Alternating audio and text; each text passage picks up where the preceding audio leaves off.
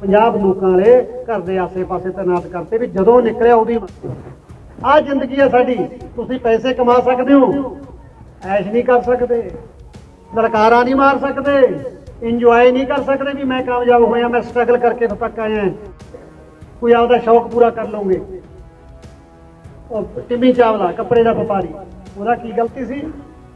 ਉਸ ਬੰਦੇ ਨੇ ਚਾਰ ਪੈਸੇ ਕਮਾਏ ਵੀਆਈਪੀ ਨੰਬਰ ਲੈ ਲਿਆ ਗੱਡੀ ਜਵਾਕਾਂ ਨੂੰ ਸ਼ੌਂਕ ਹੁੰਦਾ, ਕੋਈ ਇੱਕ ਨੰਬਰ ਲੈਂਦਾ, ਕੋਈ ਦੋ ਨੰਬਰ ਲੈਂਦਾ, ਨਾ ਛੋਟਾ ਸਿਫਰਾਂ ਵਾਲੇ ਨੰਬਰ ਲੈਣ ਦਾ ਸ਼ੌਂਕ ਹੁੰਦਾ, ਜਿਹਦੇ ਕੋਲ ਚਾਰ ਪੈਸੇ ਹੁੰਦੇ ਆ ਲੈਂਦਾ ਸਤਿ ਸ਼੍ਰੀ ਅਕਾਲ ਦੋਸਤੋ, ਤੁਸੀਂ ਜੁੜ ਚੁੱਕੇ ਹੋ ਜੱਟ ਬਾਬੇ ਟੈਲੀਵਿਜ਼ਨ ਦੇ ਨਾਲ। ਦੋਸਤੋ, ਬਾਪੂ ਬਲਕੌਰ ਸਿੰਘ ਹਰ ਐਤਵਾਰ ਨੂੰ ਆਪਣੀ ਹਵੇਲੀ 'ਚੋਂ ਬੋਲਦੇ ਨੇ, ਹਰ ਐਤਵਾਰ ਨੂੰ ਇਨਸਾਫ ਮੰਗਦੇ ਨੇ ਬਾਈ ਸਿੱਧੂ ਮੂਸੇਵਾਲੇ ਦੇ ਲਈ ਅਤੇ ਹਰ ਹਫ਼ਤੇ ਉਹ ਸਾਰੀ ਜਾਣਕਾਰੀ ਦਿੰਦੇ ਨੇ ਜੋ ਹਫ਼ਤੇ ਦੇ ਵਿੱਚ ਘਟਨਾਕ੍ਰਮ ਹੋਇਆ ਹੁੰਦਾ ਹੈ। ਕਹਿਣ ਤੋਂ ਭਾਵ ਜਿਹੜੀ ਗਤੀਵਿਧੀ ਸਿੱਧੂ ਮੂਸੇਵਾਲੇ ਦੇ ਕੇਸ ਨੂੰ ਲੈ ਕੇ ਪੂਰੇ ਹਫ਼ਤੇ ਵਿੱਚ ਹੋਈ ਹੁੰਦੀ ਹੈ, ਉਹ ਜਾਣਕਾਰੀ ਸਿੱਧੂ ਦੇ ਪਿਤਾ ਬਲਕੌਰ ਸਿੰਘ ਹੋਰੀ ਲੋਕਾਂ ਨੂੰ ਮੂਸੇ ਹਵੇਲੀ ਦੇ ਵਿੱਚ ਦਿੰਦੇ ਨੇ ਅਤੇ ਇਸ ਵਾਰ ਵੀ ਬਾਪੂ ਬਲਕੌਰ ਸਿੰਘ ਨੇ ਕਈ ਚੀਜ਼ਾਂ ਸਿੱਧੂ ਮੂਸੇਵਾਲੇ ਦੇ ਚਾਹਣ ਵਾਲਿਆਂ ਦੇ ਨਾਲ ਸਾਂਝਾ ਕੀਤੀਆਂ। ਨਾਲ ਹੀ ਸਿੱਧੂ ਮੂਸੇਵਾਲੇ ਦੇ ਪਿਤਾ ਸਰਦਾਰ ਬਲਕੌਰ ਸਿੰਘ ਹੋਰਾਂ ਨੇ ਕਿਹਾ ਕਿ ਹਰ ਐਤਵਾਰ ਨੂੰ ਮੈਂ ਸਾਰੀ ਜਾਣਕਾਰੀ ਦਿੰਨਾ ਕੇਸ ਦੀ ਕਿ ਕੀ ਕੀ ਹਲਚਲ ਹੋਈ ਹੈ ਕੇਸ ਦੇ ਵਿੱਚ। ਅਤੇ ਬਲਕੌਰ ਸਿੰਘ ਨੇ ਕਿਹਾ ਕਿ ਇਸ ਹਫ਼ਤੇ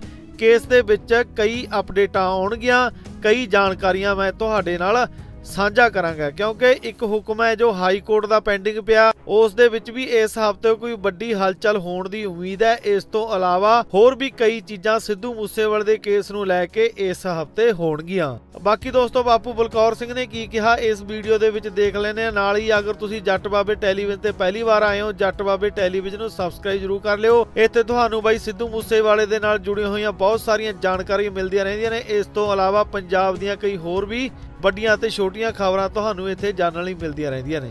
ਸੰਡੇ ਦੀ ਸੰਡੇ ਕੇਸ ਦੇ ਸੰਬੰਧਤ ਜਿੰਨੀ ਕੁ ਅਪਡੇਟ ਹੁੰਦੀ ਆ ਉਹ ਤੁਹਾਡੇ ਨਾਲ ਮੈਂ ਸ਼ੇਅਰ ਕਰ ਲੈਣਾ ਹੁੰਦਾ। ਪਰੰਤੂ ਐਤਕੀ ਜਿਹੜਾ ਅਗਲਾ ਹਫਤਾ ਆਉਣ ਵਾਲਾ ਹੈ, ਉਹਦੇ ਵਿੱਚ ਕਾਫੀ ਅਪਡਾਊਨ ਹੋਣਗੇ। ਕਿਉਂਕਿ ਇੱਕ ਤਾਂ ਮਾਨਯੋਗ ਹਾਈ ਕੋਰਟ ਵੱਲੋਂ ਜੋ ਸੋਮੋਟੋ ਐਕਸ਼ਨ ਇਹਨਾਂ ਦੇ ਖਿਲਾਫ ਲਿਆ ਗਿਆ ਉਹਦੀ ਸੁਣਵਾਈ 28 ਤਰੀਕ ਨੂੰ ਹੈ। ਵੇਖਦੇ ਹਾਂ ਸਰਕਾਰ ਆਪਣਾ ਧਰਮ ਨਿਭਾਉਂਦੀ ਹੈ ਜਾਂ ਉਮੀਦਾਂ ਜਿੱਦਾਂ ਦੀਆਂ ਹੈਗੀਆਂ ਨੇ ਵੀ ਪਹਿਲਾਂ ਨਾਲੋਂ ਵੀ ਵੱਧ ਗਿਰਦੀ ਹੈ। ਕਿਉਂਕਿ ਇੱਕੋ ਮਸਲੇ ਦੇ ਉੱਤੇ ਮਾਨਜਲ ਕੋਰਟ ਨੇ ਦੋ ਵਾਰ ਸੋ ਵੋਟੋ ਦੇ ਅਧੀਨ ਕਾਰਵਾਈ ਕੀਤੀ ਹੈ। ਪਹਿਲੀ ਵਾਰ ਇਹਨਾਂ ਨੇ ਕਹਿਤਾ ਵੀ ਅਸੀਂ ਸਿੱਖ ਦਾ ਗਠਨ ਕਰਦੇ ਹਾਂ, ਅਸੀਂ ਪਤਾ ਲਾਉਂਦੇ ਹਾਂ ਕਸਟਡੀ ਦੇ ਦੌਰਾਨ ਜਿਹੜੀ ਇੰਟਰਵਿਊ ਹੈ ਕਿੱਦਾਂ ਹੋ ਗਈ। ਪਰ ਸਰਕਾਰ ਨੇ ਇੱਕ ਵੀ ਡੱਕਾ ਨਹੀਂ ਤੋੜਿਆ। ਦੇ ਸੰਬੰਧ ਦੇ ਵਿੱਚ ਕੋਈ ਅਫਸਰਾਂ ਦੀ ਮੀਟਿੰਗ ਨਹੀਂ ਹੋਈ। ਕੋਈ ਸਾਨੂੰ ਨਹੀਂ ਪਤਾ ਲੱਗਿਆ ਵੀ ਕਿਹੜੇ ਕਿਹੜੇ ਅਫਸਰ ਨਿਯੁਕਤ ਕੀਤੇ ਨੇ ਕਮੇਟੀ ਦੇ ਵਿੱਚ ਤੇ ਉਹਨਾਂ ਦੀ ਕਿੱਥੇ ਮੀਟਿੰਗ ਹੋਈ ਹੈ। ਜਾਂ ਉਹਨਾਂ ਨੂੰ ਕਸਟਡੀ ਵਾਲੇ ਪੱਤਰਕਾਰ ਨੂੰ ਤੇ ਲਾਰੈਂਸ ਨੂੰ ਲੱਭਣ ਲਈ ਕਿਹੜੇ ਫੀਲਡ 'ਚ ਜਾਣਾ ਪਿਆ ਇਹਦੇ ਬਾਰੇ ਆਪਾਂ ਨੂੰ, ਜਨਤਾ ਨੂੰ ਜਾਂ ਪੀੜਤ ਵਿਅਕਤੀਆਂ ਨੂੰ ਕੋਈ ਜਾਣਕਾਰੀ ਦਿੱਤੀ ਗਈ। ਇਹਦਾ ਸ਼ੁਕਰ ਕਰੋ, ਮਾਨਜੋ ਕੋਰਟ ਦੇ ਧਿਆਨ ਦੇ ਵਿੱਚ ਕੋਈ ਹੋਰ ਕੇਸ ਆਇਆ ਸੀ। ਇਦਾਂ ਦਾ ਹੀ, ਜੇਲ੍ਹਾਂ 'ਚੋਂ ਫੋਨ ਵਰਤਣ ਦੇ ਸੰਬੰਧੀ ਕਿਸੇ ਨੂੰ ਧਮਕਾਇਆ ਗਿਆ ਸੀ ਤਾਂ ਉਹ ਜੱਜ ਸਾਹਿਬ ਦੇ ਫਿਰ ਧਿਆਨ 'ਚ ਆ ਗਈ। ਪ੍ਰਮਾਤਮਾ ਦੀ ਕਿਰਪਾ ਦੇ ਨਾਲ ਕਹਿ ਸਕਦੇ ਹਾਂ ਵੀ ਉਹਨਾਂ ਨੇ ਪੁੱਛਿਆ ਵੀ ਯਾਰ ਪਹਿਲਾਂ ਵੀ ਇੱਕ ਵਾਰੀ ਵੀਡੀਓ ਤੇ ਰੌਲਾ ਪਿਆ ਸੀ, ਉਹਦਾ ਕੀ ਬਣਿਆ? ਜਦੋਂ ਸਰਕਾਰ ਤੋਂ ਸਟੇਟਸ ਪੁੱਛਿਆ ਤਾਂ ਸਰਕਾਰ ਨੇ ਬੜੀ ਢੀਠਤਾ ਦੇ ਨਾਲ ਇਹ ਕਹਿਤਾ ਵੀ ਇਹ ਤਾਂ ਪਹਿਲੀ ਕਮੇਟੀ ਬਣਾਈ ਹੋਈ ਹੈ ਜੀ ਸਾਡੀ। ਇਹ ਨਹੀਂ ਦੱਸਿਆ ਵੀ ਅਦਾਲਤ ਨੇ ਪਹਿਲਾਂ ਸਾਨੂੰ ਖਿੱਚਿਆ ਸੀ, ਅਸੀਂ ਤਾਂ ਕਮੇਟੀ ਬਣਾਈ ਸੀ। ਪਰੰਤੂ ਜਿੱਦਾਂ ਐਦਾਂ ਪੇਸ਼ ਕੀਤਾ ਉੱਥੇ ਵੀ ਜਿੱਦਾਂ ਸਰਕਾਰ ਹੀ ਫਿਕਰਮੰਦ ਸੀ, ਉਹਨਾਂ ਨੇ ਪਹਿਲੀ ਕਮੇਟੀ ਬਣਾ ਲਈ ਸੀ ਤਾਂ ਅਸੀਂ ਤਾਂ ਜਿਹੜੀ ਟੀਮ ਬਣਾ ਕੇ ਸਿਰ ਤੋਂ ਉਸ ਮਸਲੇ ਦੀ ਜਾਂਚ ਕਰ ਰਹੀ ਹੈ ਜਦ ਕਿ ਇਸ ਤਰ੍ਹਾਂ ਹੈ ਹੀ ਨਹੀਂ ਸੀ। ਚਲੋ, ਹੁਣ ਦੇਖਦੇ ਆ ਆਪਣਾ ਧਰਮ ਨਿਭਾਉਂਦੇ ਆ ਕਿ ਨਹੀਂ ਨਿਭਾਉਂਦੇ, ਜਾਂ ਹੁਣ ਵੀ ਝੂਠ ਬੋਲ ਕੇ ਆਉਂਦੇ ਆ, ਕੋਈ ਪਤਾ ਨਹੀਂ। ਕਿਉਂਕਿ ਜੇਕਰ ਸਰਕਾਰਾਂ ਆਪਣੀ ਬਣਦੀ ਡਿਊਟੀ ਨਿਭਾਉਣ ਲੱਗ ਜਾਣ, ਤਾਂ ਸਾਨੂੰ ਕੀ ਲੋੜ ਹੈ? ਰੋਜ਼ ਬੋਲਣ ਦੀ, ਰੋਜ਼ ਭਕਾਈ ਕਰਨ ਦੀ ਇਹਨਾਂ ਦਿਨ ਰਾਤ ਬੋਲੀ ਜਾਂਦੇ ਆ। ਪਰੰਤੂ ਸਰਕਾਰਾਂ ਆਪਣੇ ਫਰਜ਼ ਤੋਂ ਬਿਲਕੁਲ ਪਿੱਛੇ ਹਟ ਰਹੀਆਂ ਨੇ ਇਸ ਗੱਲ ਸਾਨੂੰ ਕਿਤੇ ਵੀ ਨਹੀਂ ਲੱਗਦਾ ਵੀ ਇਹ ਜਿਹੜੀ ਤੁਹਾਡੇ ਵੱਲੋਂ ਚੁਣੇ ਜਾਂਦੇ ਲੋਕ ਹੈ, ਤੁਹਾਡੇ ਹੱਕ 'ਚ ਖੜਦੇ ਨਹੀਂ ਕਿੰਨੀ ਕੁ ਵੱਡੀ ਗੱਲ ਹੈ ਵੀ ਇੱਕ ਬੰਦਾ 100 ਕੇਸਾਂ ਦਾ ਦੋਸ਼ੀ ਹੈ। ਉਹਨੂੰ ਪੰਜਾਬ 'ਚ ਰੱਖਿਆ ਨਹੀਂ ਜਾਂਦਾ, ਰੱਖਿਆ ਜਾਂਦਾ ਜਾ ਕੇ ਗੁਜਰਾਤ ਵਿੱਚ। ਜਦ ਕਿ ਗੁਜਰਾਤ ਦੇ ਵਿੱਚ ਉਹਦੇ ਕੋਈ ਕੇਸ ਹੀ ਹੈ ਨਹੀਂ। ਇੱਕ ਐਨਡੀਪੀਐਸ ਦਾ ਮੁਕੱਦਮਾ ਪਤਾ ਨਹੀਂ ਉਹਦੇ ਚ ਹੈਗਾ ਜਾਂ ਪਾਇਆ ਗਿਆ ਜਾਣ ਕੇ, ਉਹਨੂੰ ਲਿਆਉਣ ਵਾਸਤੇ ਇਹ ਵੀ ਰੱਬ ਜਾਣਦਾ ਹੈ, ਸੱਚਾਈ ਦੀ ਇਸ ਗੱਲ ਵਿੱਚ। ਜਿੱਥੇ ਉਹਦੇ ਤੇ ਸੈਂਕੜੇ ਕੇਸ ਚੱਲਦੇ ਨੇ, ਕਤਲ ਫਰੌਤੀਆਂ ਡਾਕਿਆਂ ਦੇ ਸੈਂਕ 100 100 ਦੇ ਕਰੀਬ ਕੇਸ ਹੈ। ਦੇਖੋ ਜੀ, ਉਸ ਜੇਲ੍ਹ 'ਚ ਰੱਖਣਾ ਉਹਨੂੰ ਮੁਨਾਸਬ ਨਹੀਂ ਸਮਝਿਆ ਜਾਂਦਾ। ਤਾਂ ਤੁਸੀਂ, ਮੈਂ ਲੋਕੋ, ਤੁਹਾਡੇ ਚਰਨਾਂ ਦੇ ਵਿੱਚ ਬੇਨਤੀ ਕਰਦਾ ਤੁਸੀਂ ਇਹਨਾਂ ਲੋਕਾਂ ਦੀ ਪਹਿਚਾਣ ਕਰ ਲਓ ਅੱਜ ਜਿਸ ਜਗ੍ਹਾ ਤੇ ਮੈਂ ਖੜਾ, ਤੁਸੀਂ ਨਾ ਕੱਲ ਨੂੰ ਖੜੋ, ਮੈਂ ਹਰੇਕ ਇਕੱਠ ਨੂੰ ਸੰਬੋਧਨ ਕਰਦਾ, ਜਦੋਂ ਜਿੰਨੇ ਵੀ ਤੁਸੀਂ ਮੇਰੇ ਦਰ ਤੇ ਆਉਨੇ ਹੋ, ਘਰ ਆਉਨੇ ਹੋ, ਮੈਂ ਸਾਰਿਆਂ ਨੂੰ ਇਹੀ ਬੇਨਤੀ ਕਰਦਾ ਵੀ ਜੋ ਚੀਜ਼ ਗਵਾ ਉਹ ਨਹੀਂ ਆਪਾਂ ਨੂੰ ਮਿਲਣੀ। ਜਸਟਿਸ ਆਪਾਂ ਨੂੰ ਕਾਹਦਾ ਮਿਲੂਗਾ? ਬੱਚਾ ਆਪਾਂ ਖੋਲਿਆ, ਪੰਜ ਤੱਤਾਂ ਦੇ ਵਿੱਚ ਬਲੀਨ ਹੋ ਗਿਆ, ਗੱਲ ਨਿਬੜੀ ਰਹਿ ਗਏ ਹੁਣ ਮਾਪਿਆਂ ਦੇ ਤਾਂ ਧੱਕੇ ਨੇ ਥੋੜੇ ਖਾਣੇ ਆ, ਬਾਹਲੇ ਖਾਣੇ ਆ, ਉਹ ਆਪਦੀ ਕਿਸਮਤਾਂ ਦੇ ਲੇਖੇ ਨੇ। ਜਿਹੋ ਜਿਹਾ ਕੁਝ ਲਿਖਿਆ ਹੋਇਆ ਮਾਲਕ ਨੇ ਉਹ ਜਿਹਾ ਭੁਗਤ ਕੇ ਦੁਨੀਆ ਤੋਂ ਤੁਰ ਜਾਾਂਗੇ ਪਰ ਮੈਂ ਚਾਹੁੰਦਾ ਆ ਜਿਹੜੇ ਮੇਰੇ ਸਾਹਮਣੇ ਖੜੇ ਨੇ ਦਸਤਾਰਾਂ ਸਜਾਈ ਖੜੇ ਆ, ਆਪਦਾ ਅੱਛਾ ਕਾਰੋਬਾਰ ਕਰਦੇ ਆ ਇੱਜ਼ਤ ਦੇ ਨਾਲ ਹੋਣਾ ਚਾਹੁੰਦੇ ਆ। ਇਹਨਾਂ ਦੀ ਖਾਤਰ ਤੁਹਾਨੂੰ ਕੋਈ ਨਾ ਕੋਈ ਫੈਸਲੇ ਲੈਣੇ ਪੈਣਗੇ।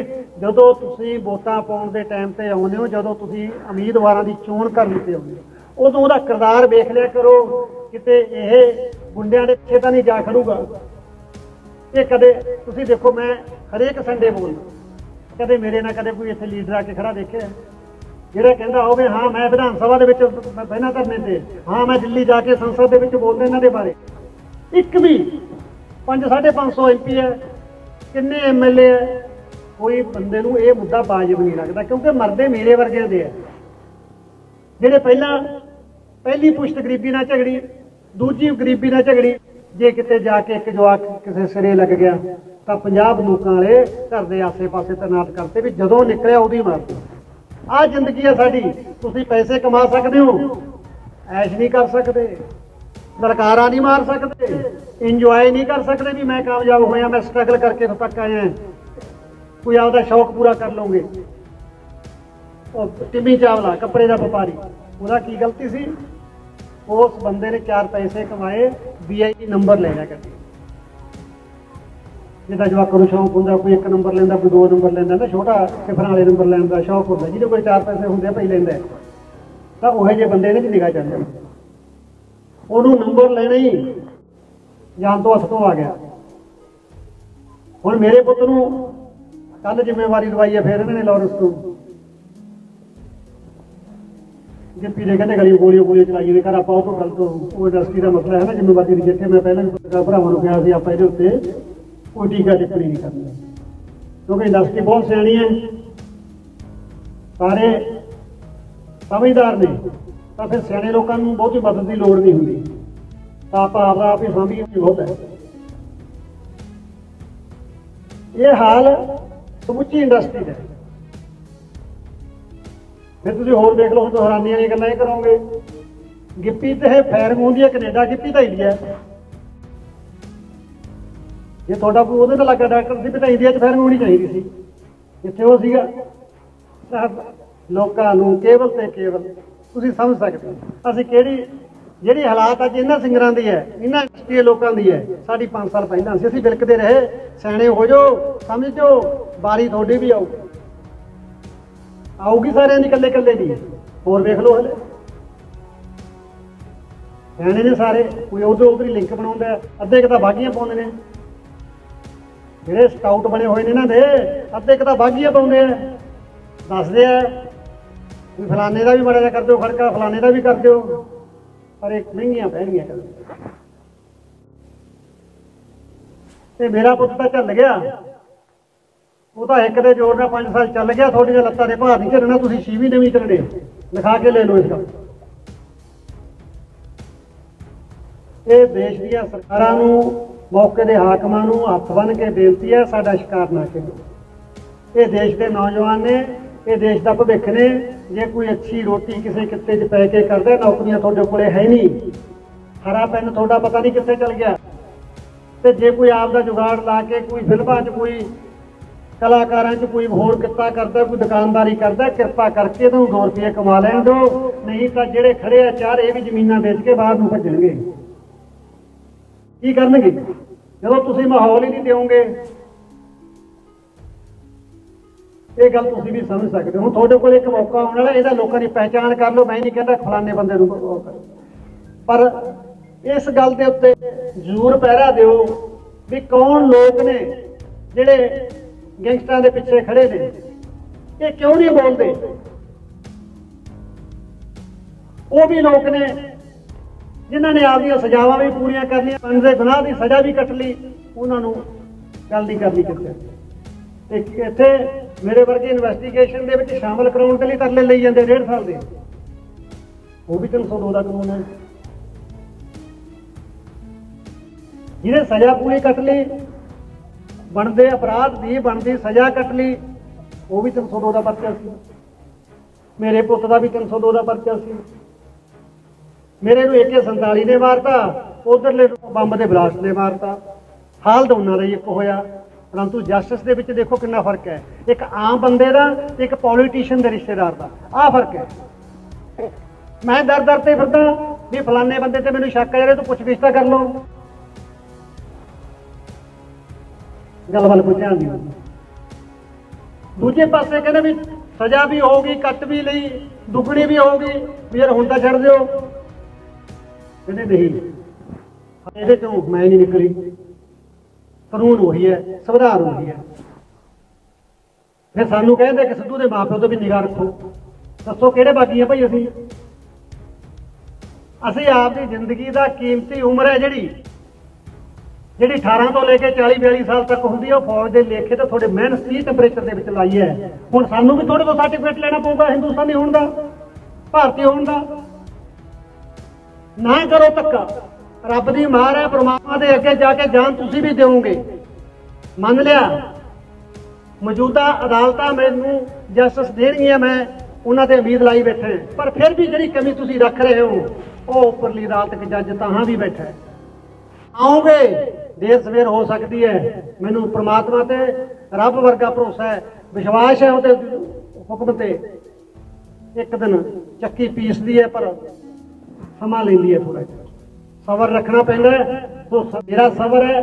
ਤੁਹਾਡੀਆਂ ਦੁਆਵਾਂ ਹੈ, ਤੁਹਾਡੀਆਂ ਅਰਦਾਸਾਂ ਹੈ। ਆਪਾਂ ਜ਼ਰੂਰ ਦੋਸ਼ੀਆਂ ਨੂੰ ਇੱਕ ਨਾ ਇੱਕ ਦਿਨ ਉਹਨਾਂ ਦੇ ਕੀਤੇ ਦੀ ਸਜ਼ਾ ਦਬਾ ਪਾਵਾਂਗੇ। ਪਰਮਾਤਮਾ ਦੀ ਮਿਹਰ ਕਰੂਗਾ ਹਾਂ, ਜੇ ਮੈਂ ਮੌਜੂਦਾ ਅੱਜ ਦੀ ਗੱਲ ਕਹਾਂ, ਅੱਜ ਦਾ ਕੋਈ ਹਾਲ ਜਿੰਦਾ ਰਹੇ ਤਾਂ ਲੜਦੇ ਜ਼ਰੂਰ ਰਹਾਂਗੇ। ਸਮਝੌਤਾ ਨਹੀਂ ਕਰਾਂਗੇ ਕਦੇ ਕਿਸੇ ਨਾਲ। ਜਿਵੇਂ ਦੇ ਇਹਨਾਂ ਦੇ ਮਾਹੌਲ ਸਿਰਜ ਰਹੇ ਨੇ ਜਿਹੜੇ ਹਿਸਾਬ ਨਾਲ। ਇਹ ਬੰਦਿਆਂ ਤੇ ਦਬਾਅ ਪਾਉਂਦੇ ਆ ਪ੍ਰੈਸ਼ਰ ਪਾਉਂਦੇ ਆ। ਮੈਂ ਬੋਲੀ ਜੰਨਾ ਪਰ ਇਹਨਾਂ ਇਹਨਾਂ 'ਚ ਬੋਲਣ ਦੀ ਹਿੰਮਤ ਵੀ ਨਹੀਂ। ਕਹਿ ਦੇਣ ਵੀ ਮੈਨੂੰ ਫਲਾਣਾ ਬੰਦਾ ਲੱਗਦਾ ਨਹੀਂ ਬੋਲਣਗੇ ਕਦੇ। ਚਲੋ, ਜਿਵੇਂ ਤੁਹਾਡੀ ਖੁਸ਼ੀ ਹੈ ਫਿਰ, ਲਓ ਨਜ਼ਾਰੇ। ਅੱਜ ਤਾਂ ਇੱਕ ਦੀ ਖਬਰ ਆਈ ਹੈ, ਹਲੇ ਹੋਰ ਕਿੰਨੀਆਂ ਹੋਣਗੀਆਂ। ਰੱਬ ਜਾਣਦਾ। ਮੈਂ ਤਾਂ ਅਖੀਰ ਦੇ ਵਿੱਚ ਇਹ ਅਪੀਲ ਕਰਦਾ, ਉਹ ਭਰਾਵੋ, ਇਹ ਆਜ਼ਾਦ ਮੁਲਕ ਸਾਡੇ ਸ਼ਹੀਦਾਂ ਨੇ, ਸੂਰਬੀਰਾਂ ਨੇ ਬੜੀਆਂ ਮੁਸ਼ਕਲਾਂ ਦੇ ਨਾਲ ਆਜ਼ਾਦ ਕਰਾਇਆ ਸੀ, ਉਹ ਸਾਨੂੰ ਸਾਹ ਲੈ ਲੈਣ ਇਹ ਨਵਾਂ ਵਾਇਰਸ ਕਿੱਥੋਂ ਪੈਦਾ ਕਰਤਾ ਤੁਸੀਂ ਗੈਂਗਸਟਰਾਂ ਦਾ? ਜਿਹਦੇ ਨਾਲ ਕੋਈ ਦੁਸ਼ਮਣੀ ਨਹੀਂ, ਕਿਸੇ ਨਾਲ ਕੋਈ ਲਾਗ ਡਾਟ ਨਹੀਂ, ਉਹ ਹਰੇਕ ਦੇ ਘਰੇ ਵਾਰ ਕੇ ਗੋਲੀਆਂ ਵੱਜਣੀਆਂ, ਤਾਂ ਕੀ ਕਰਾਂਗੇ ਯਾਰ? ਕਿਹੜਾ ਕਾਰੋਬਾਰ ਕਰੂਗਾ ਕੋਈ? ਇਨਸਾਨੀਅਤ ਦੇ ਨਾਤੇ ਪ੍ਰਮਾਤਮਾ ਦੇ ਕਿਸੇ ਡਰ ਤੋਂ ਤਾਂ ਤੁਸੀਂ ਡਰ ਜਾਓ। ਨਾ ਕਰੋ ਇਸ ਤਰ੍ਹਾਂ ਦੇ। ਲੋਕਾਂ ਦੇ ਜਵਾਕ ਨਾ ਮਾਰੋ। ਬੜੀ ਮੁਸ਼ਕਲ ਨਾਲ ਇੱਕ ਬੱਚਾ ਮਾਪਿਆਂ ਦੇ ਧੂਏ ਕੁੱਬੇ ਹੋ ਜਾਂਦੇ ਨੇ। ਕਮਾਈਆਂ ਕਰਦਿਆਂ ਦੇ ਜੇ ਇੱਕ ਅੱਧਾ ਕਾਮਯਾਬ ਹੁੰਦਾ ਜਾ ਔਰ ਤੁਸੀਂ ਢਾਪੇ ਹੋਣ ਵਾਸਤੇ ਛੱਡ ਦਿੰਦੇ ਹੋ। ਔਰ ਦੇਸ਼ ਦੇ ਹਾਕਮ ਇਹਨਾਂ ਗੱਲਾਂ 'ਚੋਂ ਸੱਤਾ ਭਾਲਦੇ ਆ। ਇਹ ਜੀ ਸੱਤਾ ਕਿਸੇ ਕੋਲੇ ਨਹੀਂ ਰਹੀ। ਔਰੰਗਜ਼ੇਬ ਵਰਗੇ ਚਲੇ ਚਲੇ ਗਏ ਦੁਨੀਆ ਤੋਂ। ਜਿਹੜੇ ਸਵਾ ਸਵਾ ਮਣ ਦੇ ਜਨੇਊ ਲਾ ਕੇ ਰੋਟੀ ਖਾਂਦੇ ਸੀ, ਅੱਜ ਸਮਾਧ ਦੇ ਉੱਤੇ ਇੱਕ ਦੀਵਾ ਨਹੀਂ ਜਗਦਾ 20 ਰੁਪਈਆਂ ਦਾ ਜੇ 10 ਦਾ ਤੇਲ ਪੈਂਦਾ ਮੰਗ ਕੇ ਲਿਆਉਂਦੇ ਆ। ਔਰ ਐਡੀਆਂ ਐਡੀਆਂ ਪੁਸ਼ਤਾਂ, ਐਡੇ ਐਡੇ ਖਾਨਦਾਨ ਖਤਮ ਹੋ ਗਏ, ਕਿਉਂਕਿ ਗਲਤ ਰਸਤੇ ਤੇ ਚੱਲੇ ਹੋਏ ਸੀ। ਤਾਂ ਉਸ ਕਰਦਾ ਪ੍ਰਮਾਤਮਾ ਕਿਰਪਾ ਕਰੇ, ਇਹਨਾਂ ਨੂੰ ਸਮਤ ਬਖਸ਼ੇ। ਜਿਹੜੇ ਕੁਰਸੀਆਂ ਦੇ ਚੱਕਰ ਦੇ ਵਿੱਚ ਗਲਤ ਰਸਤੇ ਤੇ ਪੈ ਰਹੇ ਨੇ ਤਾਂ ਦੋਸਤੋ ਬਾਪੂ ਬਲਕੌਰ ਸਿੰਘ ਦਾ ਬਿਆਨ ਤੁਸੀਂ ਨੇ ਸੁਣਿਆ ਕਿ ਆਖਰ ਬਾਪੂ ਬਲਕੌਰ ਸਿੰਘ ਹੋਰਾਂ ਨੇ ਕੀ ਕਿਹਾ ਦੋਸਤੋ ਕੀ ਕਦੇ ਬਾਈ ਸਿੱਧੂ ਮੂਸੇਵਾਲੇ ਨੂੰ ਇਨਸਾਫ ਮਿਲੇਗਾ ਜਾਂ ਨਹੀਂ ਕਮੈਂਟਾਂ ਵਿੱਚ ਤੁਸੀਂ ਆਪਣੀ رائے ਜ਼ਰੂਰ ਦਿਓ ਨਾਲ ਹੀ ਅਗਰ ਤੁਸੀਂ ਜੱਟ ਬਾਬੇ ਟੈਲੀਵਿਜ਼ਨ ਤੇ ਪਹਿਲੀ ਵਾਰ ਆਏ ਹੋ, ਜੱਟ ਬਾਬੇ ਟੈਲੀਵਿਜ਼ਨ ਨੂੰ ਸਬਸਕ੍ਰਾਈਬ ਜ਼ਰੂਰ ਕਰ ਲਿਓ। ਇੱਥੇ ਤੁਹਾਨੂੰ ਬਾਈ ਸਿੱਧੂ ਮੂਸੇਵਾਲੇ ਦੇ ਕੇਸ ਦੇ ਨਾਲ ਜੁੜੀਆਂ ਹੋਈਆਂ ਜਾਣਕਾਰੀਆਂ ਮਿਲਦੀਆਂ ਰਹਿੰਦੀਆਂ ਨੇ। ਨਾਲ ਹੀ ਪੰਜਾਬ ਦੀਆਂ ਕਈ ਹੋਰ ਖਬਰਾਂ ਵੀ ਤੁਸੀਂ ਇੱਥੇ ਦੇਖ ਸਕਦੇ ਹੋ। ਧੰਨਵਾਦ, ਰੱਬ ਰੱਖਾ।